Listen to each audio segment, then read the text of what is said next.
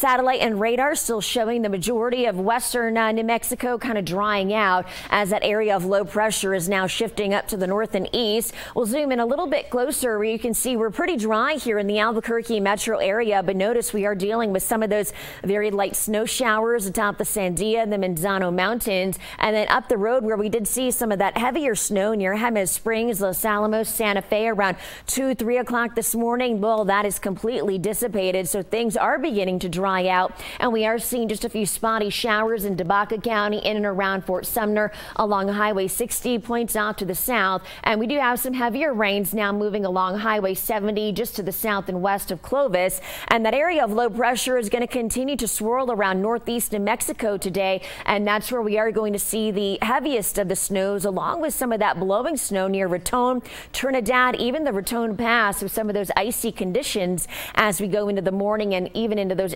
afternoon hours. Right now in Albuquerque, we are sitting at 38 degrees, 34 degrees up the road in Farmington, low 40s in Roswell, 50 degrees in Carlsbad, upper 30s in Las Cruces, Silver City. You are just above that freezing point. So for the rest of the day, we're looking at snow really favoring northeast New Mexico with blowing snow near the Raton Pass as we will see some of those winds gusting around 20 to even 25 miles per hour. And then once that system pulls far enough away from us, Saturday is looking fantastic with mostly sunny skies. It will be very dry out there, and we're also going to be tracking more of those seasonal daytime highs in the upper 40s to even low 50s.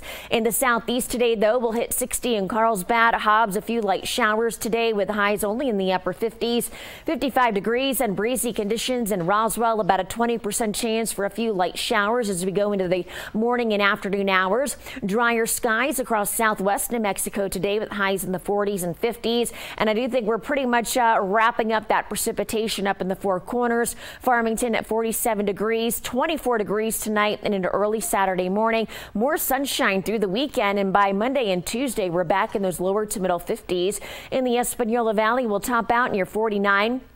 Santa Fe coming in at 46, leaving in a 20% chance for a bit of a rain snow mix this morning with breezy winds this afternoon and then transitioning to sunny skies for the weekend. Raton, you're into the upper 30s with blowing snow as we go into the morning and early afternoon hours. Low 40s in Sandia Park and Cedar Crest at 42. Mountainair coming in at 43.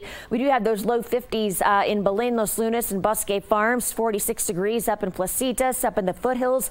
Some light snow showers with temperatures in the middle to upper 40s later on today. Rio Rancho will top out near 50. 50 here in Albuquerque with breezy winds. About a 10% chance for a few rain showers first thing this morning. Could see a few leftover uh, spotty showers late this afternoon. Otherwise drier for the weekend. We're back in those lower to middle 50s. Some colder mornings with overnight lows in the upper 20s, but a dry pattern Monday, Tuesday, and Wednesday with highs nearing 60 degrees by the middle of next week.